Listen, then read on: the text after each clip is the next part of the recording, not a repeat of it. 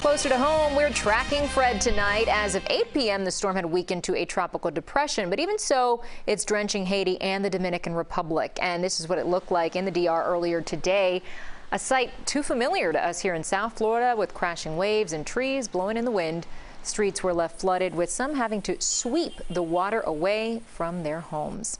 And that brings us to CBS 4 Chief Meteorologist Craig Setzer, who joins us now with the latest path for Fred. Craig. Yeah, and the possibility of flooding here in South Florida is very high with Fred, especially based on the latest models that bring this moisture tail over us. And uh, I'll show you that just a second. It doesn't look good if that verifies. 35 mile an hour tropical depression, Fred, tonight.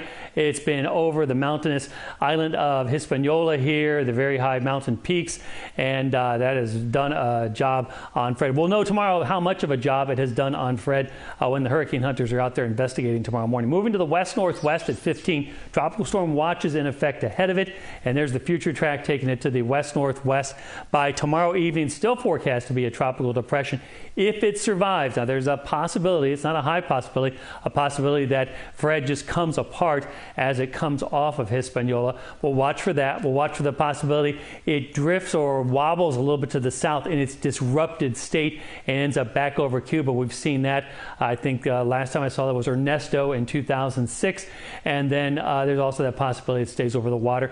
And the Hurricane Center doing continuity from each six hour advisory. They don't make big changes, which is the smart thing to do because sometimes the models flip around, but they pretty much provide the, the middle of the road there, and that often works out best. Here is the Friday morning position, the Friday evening position, and that's when Fred is making its closest approach to South Florida. Friday evening, Saturday morning, Saturday evening, and then it works its way up the eastern Gulf of Mexico there and could be strengthening as it does.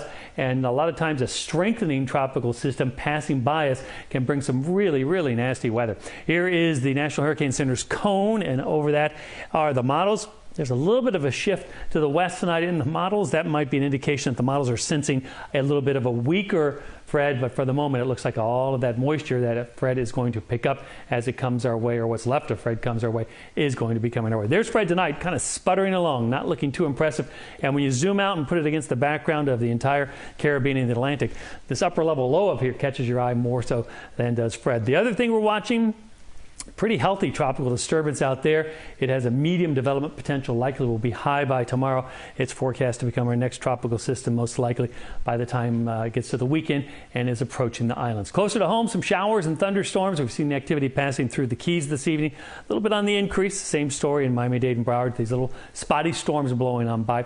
Temperatures right now feels like wise, upper 80s to the low 90s. Another hot and steamy day tomorrow before clouds, showers, and storms drop temperatures quite a bit. Here's the latest latest computer runs, showing the moisture coming in probably tomorrow night, the leading moisture, the outer bands of Fred. This is 8 p or 6 p.m. rather for tomorrow evening.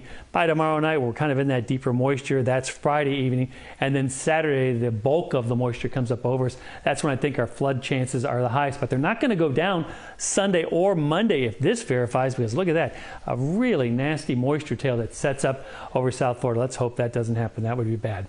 For us tonight, summer muggy, spotty storms, a low temperature right around 84 tomorrow. Steamy sun. Stray storms are still possible, very similar to today. High temperature near 92 degrees. On the water, winds east at 10 to 15, seas running 2 to 3 feet. Lights up on the bay, surf temperature, it's warm at 86. Taking us through the weekend tomorrow, the last of the hot and humid days, and then our weather goes downhill Friday, stormy Saturday, and could be stormy Sunday, Monday as well. CBS 4 News Tonight's coming right back.